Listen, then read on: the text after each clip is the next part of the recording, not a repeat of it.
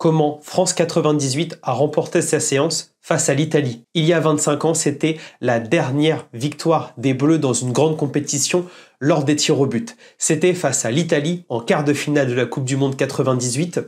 Il y a eu deux échecs aux deux deuxièmes tentatives avec Albertini et Lizarazu qui ont manqué leur tir au but. Et enfin Di Biagio qui manque son cinquième tir au but avec la France qui gagne 4-3 au tir au but pour aller en demi-finale.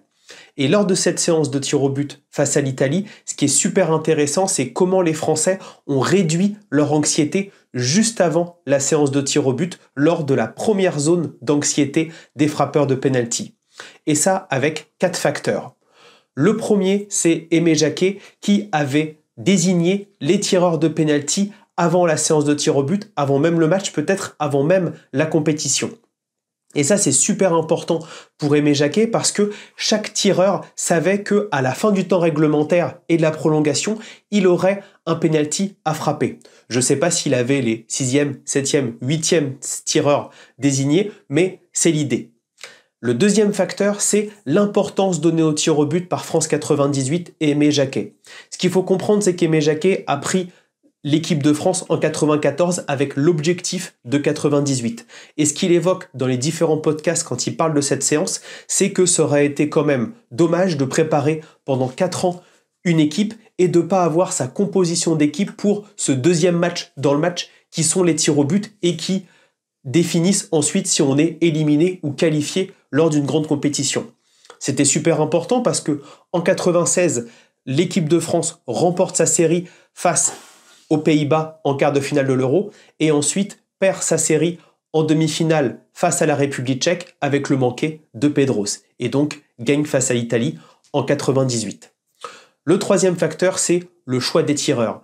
En effet, Aimé Jacquet avait choisi de prendre des tireurs qui avaient l'habitude de tirer des pénalties dans leur club ou en tout cas qui ont été des tireurs de pénalty.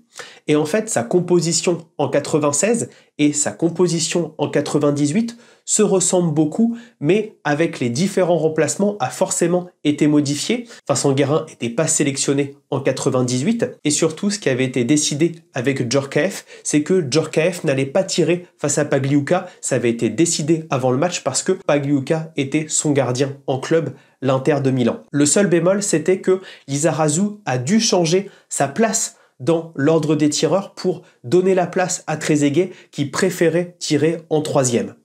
Henri avait été sélectionné, je pense, parce que Guy Varche était trop court suite à sa blessure lors du premier match, était sorti lors du temps réglementaire. Et donc on avait ces cinq tireurs français désignés avant et pendant le match pour cette séance face à l'Italie. Et le quatrième facteur pour réduire le stress, bien évidemment, Fabien Barthès. On rappelle le contexte, l'équipe de France joue sa qualification face à une nation du top 4 mondial, peut-être la meilleure nation en 98, et Barthez se marre sur le banc juste avant la séance. Il enlève même ses protèges tibia avant d'aller arrêter le tir au but d'Albertini et ensuite qualifier les Français avec les barres de Di Biagio.